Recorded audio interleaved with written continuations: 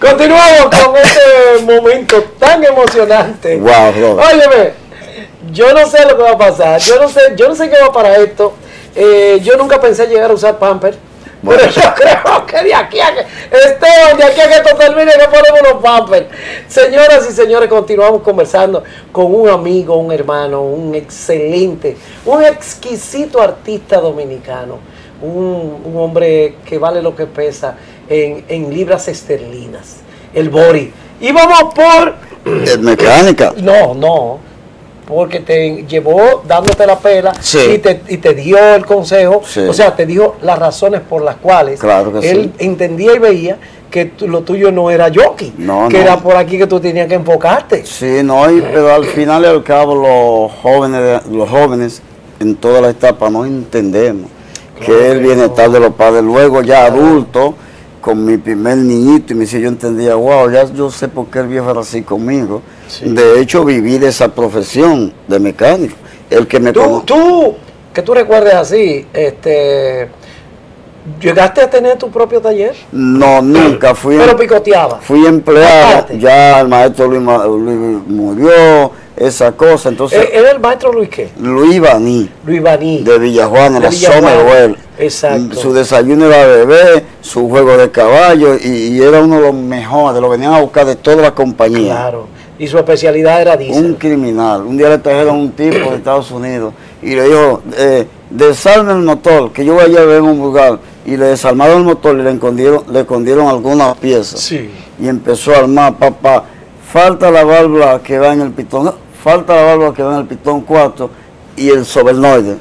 No, que falte. No, maestro, percusión, aquí están, vas a seguir. Y ahí yo dije, wow, ya yo sé por qué él estaba...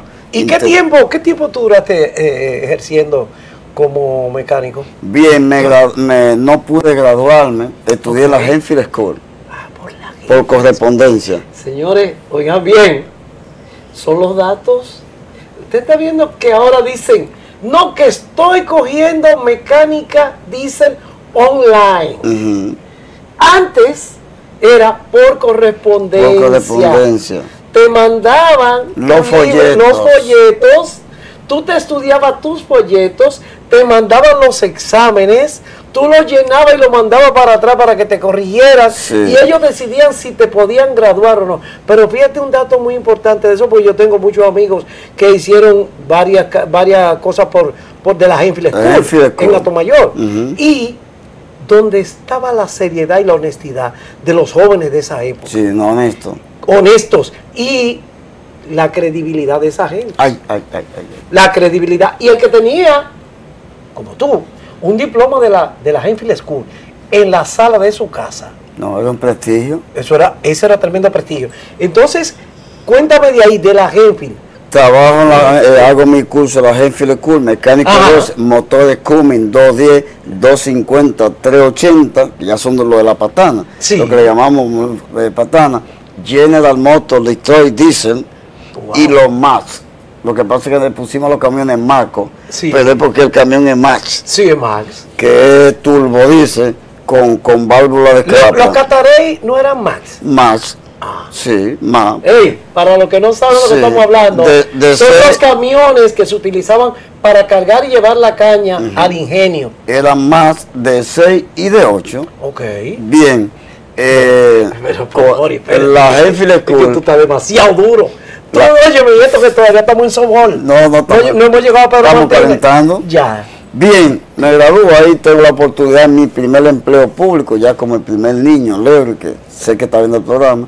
Me licenciado como Maluta, mm, me vi con él y le dije, licenciado, yo soy mecánico, yo que entonces ahí estaban ellos, eh, había ganado, eh, fue como el 84, y me nombraron en Onatrate, lo que es hoy la onza. Sí. Oficina Nacional de Transporte Terrestre, Onatrate, lo que hoy es la onza. sí. Habían tres módulos, uno en Alma Rosa, uno en el Estadio Quiqueyo y uno en La Caoba. Sí. Por yo vivir en la cercanía de la avenida Duarte, Que la guaguita era Mercedes-Benz. Mercedes-Benz, Sí. sí. Este, por yo vivir en la cercanía del Mercado Nuevo, en la avenida Duarte, en Villa Agrícola, me pusieron frente al Estadio Quiqueya. Ok. Ahí la anécdota muy buena. ¿Cuál? Hubo un tipo había problemas porque habían que despachar la guagua a las 5 de la mañana. Ah. El turno de la noche no hacía el trabajo y nombraron un coronel del ejército Wow. y nos reunió a todos, a todos los tres turnos. Usted va para, usted va para madrugar. Yo dije, pero yo soy recién casado. No, no, usted va para madrugar. Y, vea, y yo le voy a decir una cosa, he cancelado 10 mecánicos en ese turno. Esos autobuses tienen que estar prendidos a las 6 de la mañana, todos, 40. Ay, mi madre. No me valió moverme. Digo, bueno, ya estaba recién casado, ganaba 322 pesos con 50. Wow. Con el descuento me quedaban 280. Ya. Pero comíamos el mes entero. Claro. No había pan, pero que La había- despensa estaba segura. No, no había pan, pero que había pañales. Pañales Security. Sí, que se, y Carolina que se Ajá. regalaban. Ya lo, Y- lo metieron para el patio. No. Porque los Security eran extranjeros. y Carolina fue el primero. que Claro, aquí. claro, Me claro. gusta, me gusta. Oye, y me el tipo no acechaba, pero yo dormía en mi casa tranquilo, entonces en vez de entrar a, la- a las 4 de la mañana como es, como es el deber, Lo que se esperaba. no, yo salía de mi casa con mi cena en un bultico y llegaba allá al Quiqueya a las 11, de la- a las 12 de la noche. Con un radito yo tenía, a veces oía, el el- oía los palos ahí mío. Sí. pero yo te oye con el estadio al lado, Sí. yo lo que tenía un radito Sí. y él yo veía que venía de las 5 de la mañana, paraba la guagua Ford frente a lo que hoy Plaza de la Salud Sí. y venía al paso a ver. Cuando él llegaba yo estaba tranquilito y las 200 guaguas pa, pa, pa, pa, pa, pa, pa, Todita prendida. desde las 12 de la noche. Ya. Y él decía, wow. Y se iba. Por varias veces, pues me dijo, wow, usted es una persona excepcional. Ya. Y yo le dije, comandante, yo soy más guardia que usted. A mí nada más hay que decirme la cosa una sola Una vez. sola vez. Otra anécdota ahí mismo, ya yo quería que me cambiaran de turno, hacía mi trabajo me pus- y me, me pusieron de 11 a 7 de la mañana, Ok. uno recién casado. 11 a U- 7. Yo busqué un mosquitero, Sí. un radito AM FM, Sí. siempre me ha gustado mi bolero. Ya. Y cuando hacía mi trabajo me acostaba dentro del autobús con mosquitero, vela de mosquito. Y un día llegó el director general de ONATAT, caminando, mirando los talleres. Sí. Y fulano, y el electricista, y esto, y algo menos. Y Andrés, y el mecánico turno, no, él estaba por ahí. ya. Y llegó caminando hacia donde yo estaba durmiendo y me atrapó. Ok. Dice, oh, entonces a usted se le paga Para para, venir a dormir. aquí. Usted lo que falta es que traiga a su esposa.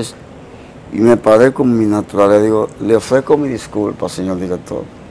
En mi contrato dice que yo tengo una hora de descanso. Sí. Y yo estoy en mi hora de descanso. Y él me tuvo que pedir permi- eh, Perdón perdón. a ti. Pero yo no sé cómo fue que yo tuve esa salida. Óyeme. Oye, pero ¿cómo te hace eso, señor? Le ofrezco mi disculpa, déjeme decirle, es que yo tengo en mi contrato una hora de descanso y después de las 11 de la noche puedo cogerla cuando me placa. Sí. Y dice, chequé la engal mía, todos los autobús que trajeron la queja de cualquier falla están resueltos. Mentira, yo estaba, yo vi el juego, se fue el público, se fue la bulla, puse a, a sonido, eh, ¿cómo era? Eh, eh, No, 100 canciones y un millón 100 canciones yo Me le recuerdo. Eso bolero, pirera, eh. me Sí. zafé y luego ganó el doctor Balaguer. Obviamente tú sabes que cuando ganan votan a No, todo el mundo. vienen los cambios. Me, me mandaron para el departamento de rescate, ganó Balaguer, el, el tipo que entró me canceló, me dio mi carta a las 2 de la tarde y habían 11 autobuses añadidos. Yo le dije, no, yo voy a firmar la carta de mi cancelación Sí. cuando yo traiga esos 11 autobuses al hangar Sí. que es mi responsabilidad. Claro. Cogí una Toyota que había para jalarlo, fui uno a uno, terminé a las dos y media de la mañana. Le dije, todos los autobuses que me reportaron dañados están aquí. Están adentro". aquí. Fui por la mañana a la oficina de la Independencia y firmé y me fui. Al mes veo que va una guagua por casa, un chiquitico que, que dice el director que, que se reporte ya, por favor, que su puesto está allá. Una guagua en el Mazosa que da, una en los ríos, y, uno, y los mecánicos haciéndose locos, y toda la guagua atravesada. Sí. Y un señor chofer viejo le dijo, "Ese- busquen a Andrés. esa persona Sí. es así, por eso usted nunca vio un búho, porque él no dejaba los búhos abandonados. Si no lo podía reparar ahí, él mandaba la grúa, llévalo para adentro, pero la vía amanecían despejada Claro, claro. y todo. Me rogó pa- te voy a poner 450, que era un millón. Un dinero. Y yo le dije, no, porque yo hice un juramento. En instituciones públicas jamás. Porque te echan sin valorar. Y yo jovencito dije jamás, porque me dio muy duro. Claro. Yo daba la vida por esos Tú autobuses. estabas muy identificado. Sí, no, no, no, no. Rápido. Pero haciendo tu trabajo con amor. entonces eso me, cuando me dieron la carta, como que no, ¿qué me importa a mí? Y en verdad yo le dije, no, no vuelvo más. Y no volví más. Pero Dios me iluminó. Y entonces. Voy a un taller en la bomba de Polanquito, kilómetro nueve y medio carretera Sánchez. Sí, señor. Que Polanquito tenía varios camiones. Claro. Que tengo problemas con los cumis y que los mecánicos me tienen con un relajo. Llama al body. Llama al body que trabaja. Pero ya te decían Boris. Sí, porque yo me fui 18 veces en Yola. Y me agarraron a, lo- a los cuatro días. Espérate. ¿Qué transición? Espérate. Muy dramática. Muy dramática. Muy- Tú cruzaste ese ojo de mar, como decimos nosotros en los campos. ¿Cuántas veces? 18 veces. 18 veces te 18, fuiste. 18 veces. Y gracias a Dios, entre tantas cosas que vi, pasamos, gracias a Dios, pude llegar. Pero me agarraron a las dos horas de llegar. Sí. Entonces, pero como me, como me agarraron en Aguadilla, Sí. y como ya había pisado la arena, se me pegó el acento. se me pegó el acento. Entonces, ¿Qué era lo que primero se le pegaba al dominicano de que llegaba? Una hora de pasar me allá. agarraron a la hora y media del tren a Aguadilla. Fíjate, En- y, ya- tú llegaste aquí. se me- eh, no, oye, Vamos nene, allá. ay, bendito, pero eh, vamos a sancochar los Eh, ¿qué cangrejo? sí, sí, los cabreos. No, entonces eso ahí, este, me- en el liceo tú eres boricua, te- el que le ponen un apodo y no protesta de una vez, Sí. ese es su Está cogido. Está cogido. Se le quedó. Y que antes decía, él, ah, que ahora es bullying. Sí. Ese es un bullying. Un bullying. Al que le hacían un bullying antes, para que nos entiendan lo de ahora, y no se fajaba el puño inmediatamente, Tenía- ah, para que le respetaran su honor. Se le quedaba. Ya, está puesto. Bien. Ya, entonces, Carretera Mella, Sí. kilómetro nueve y medio, Sí. Polanquito. sí. Eso se inundaba de agua. Y a mi amigo y hermano José Luis de los Santos, Mejor conocido. José Luis de los Santos Maltes, Sí, Santo, Sí. Mejor conocido como Jochi. Santo. este, se le pagó una Mada 323 que humeaba más que la cementera Colón. ¡Ah, lo vi! Ya José Ricardo, ¡Ya lo vi! mm, José Ricardo, mi, uno, mi ahijado, Sí. el más viejo, Sí. estaba ahí porque él lo traía como de, de- de escuela. Había un bar muy famoso, Oruega. Oh, sí. Y le dicen, Boricua, ven, que aquí hay un tipo en la televisión, que se le pa-". Entonces la televisión, Estamos hablando de qué año más o menos? 82, 82. 82, 83. Sí. Y cuando va, dice, eh, eh, digo, levanta, se la apagó, fue que se le mojó la edición. Cojo, echo gasolina, le prendo fuego a la tapa de la edición, nada que me caigo, tranquilo. Y eh, estamos hablando ahí. Boris, tú que sabes de mecánica así, al dedillo, que- y, que, y, que, y que tiene todo tu conocimiento. En el único país que creo que hacen eso es en este, Aquí. Que echan, le echan gasolina y lo prenden a la, a la tapa del... eh, ¿Dónde es que le echan? En- en- De la ignición. De la ignición. Para que, se, para que se, se evapore todo. todo Los japoneses dicen que aquí no tenemos parangón. Recuérdate que para Japón seguía a la derecha. Sí. Aquí le cambiamos el guía a la izquierda. Sí. Y esos muchachos no han ido a ninguna universidad No. industrial, ni a nadie. Corta aquí, el cigüeñal aquí, el lateral izquierdo, ponlo para allá, mochalo aquí, pégalo aquí, dale cinco pulgadas. Y esos carritos, ustedes en coreano y japoneses aquí, Claro. nosotros le cambiamos el guía Todos. del derecho para el revés. Sí. Y tú lo ves y no lo crees. No. Y no patarea ni nada. Nada. Es increíble lo del Y dominicano. entonces, ¿qué hiciste con Hochi? Eh, ahí dale, uh, dale, papá, uh, uh, uh, tranquilo. Me dice, ¿cuánto es? Le dije, 100 canoas. Dice, bárbaro, bárbaro. Teníamos bigote y cabello los dos. Que conste en acta.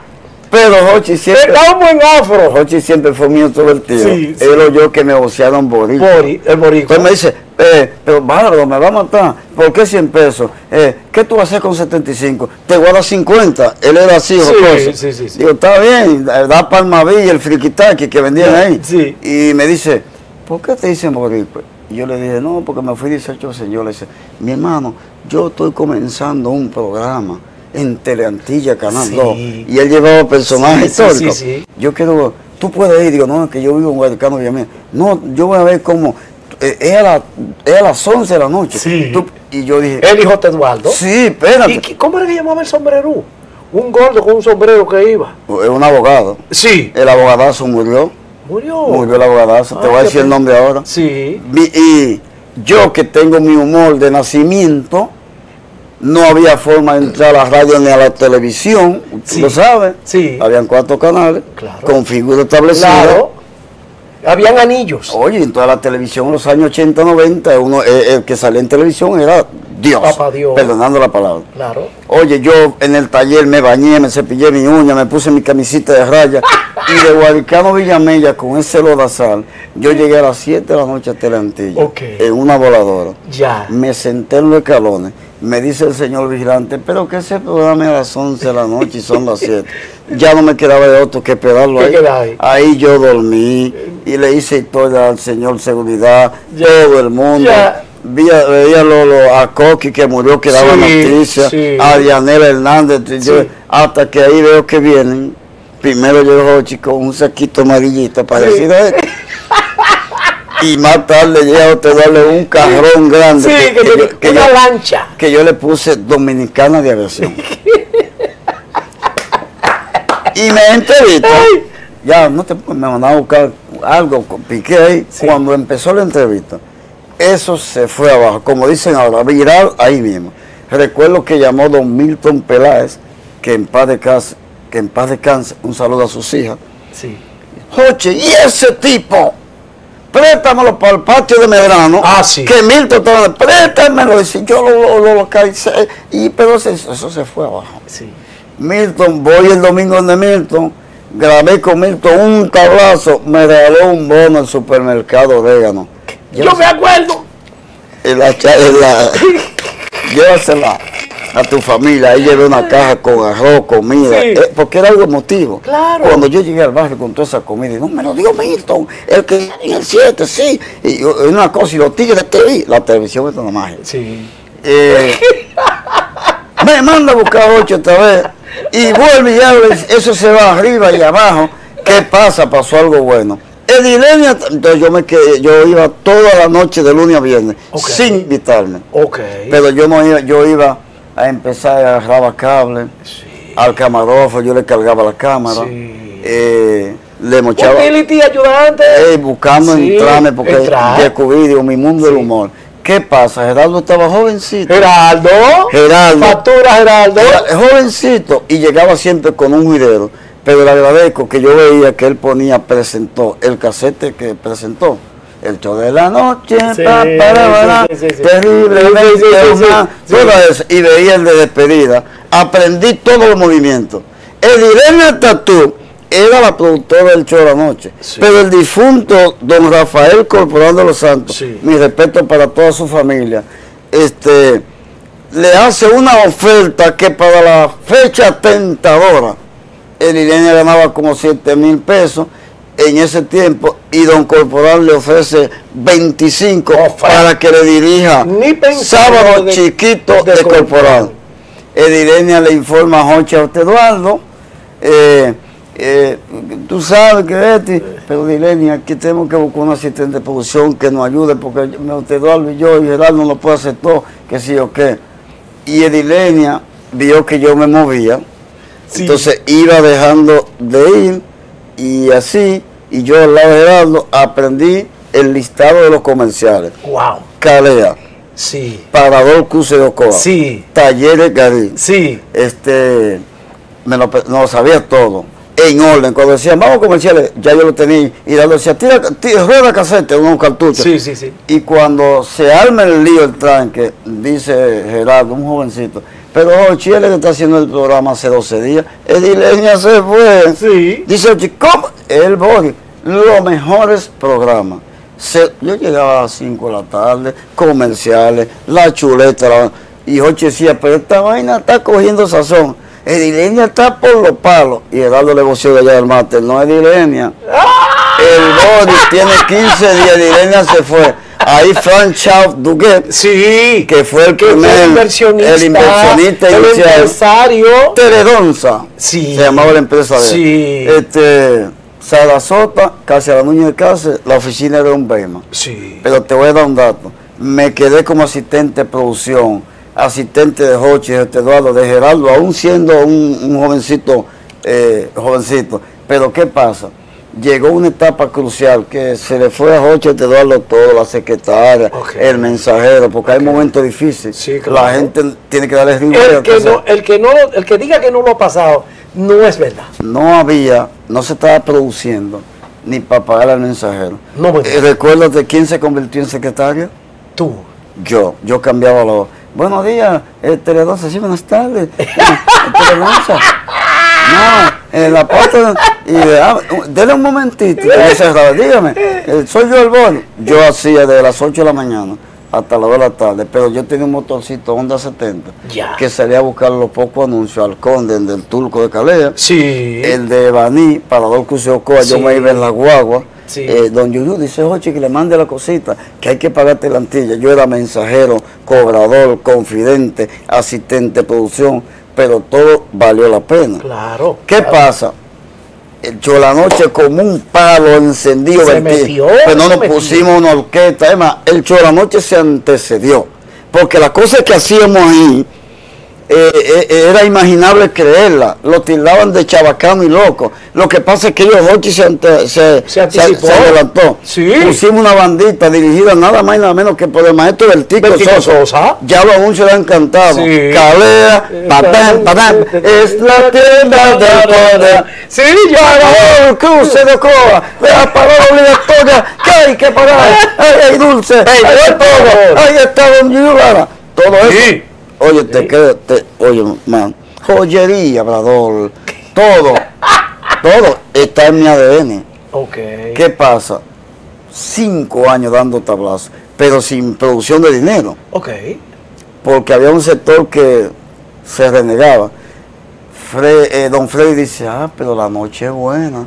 Porque si estos dos locutores, Sí. Freddy inteligente, Sí. dueño del negocio, Sí. publicitaria reto, Nandy Rivas, don Augusto Reyes, pero la noche es buena, porque si estos dos locutores de AM, con bigote y cabello, están funcionando, entonces inventan un punto, final.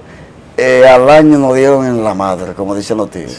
Porque cuando Jochi y yo teníamos a Marcel, a Merimel, Dayana Holguín, este, allá se inició Andy Andy. Ah, sí. Entonces, Jochi decía, llamaba al esposo de Chartín, Elín, Elín. tú vas a tener a Braulio y a Lucecita Benítez Sí, el sí. jueves, mándamelo el viernes Sí. y le mandaba el vuelo por, le mandaba el vuelo y todo, el Jaragua, y ahí tenía Freddy un cierre el viernes, Lucecita Benítez, Amplo con Braulio García, o Chucho Avellané, nos fue No, dando, no, dando, dando. Fue muy duro. Pero hay una anécdota muy buena, ¿Cuál es el mejor? muy buena, ¿Cuál anécdota? que ahí es donde tengo el paso a llegar donde don Freddy. Ah, ok. Eh, tiene Freddy al gran combo de Puerto Rico No me vivo. diga que tienen al de Rafael Itiel. En vivo. Con Rafael Itiel el gran combo por Pero en vivo. No, no, no, no, no. Déjalo ahí. Vámonos a una pausa comercial. Sí, no. No sigan poniéndose huevos. Todavía no. Todavía no nada. El medio brazo. Bueno, esto es sobol. Cuando llegue Pedro Martínez, es que usted va a saber cómo que va la pelota. No se mueva. Esto es Sabor a Pueblo. Le dije que íbamos a gozar. Se lo estoy demostrando. Adelante, señor director.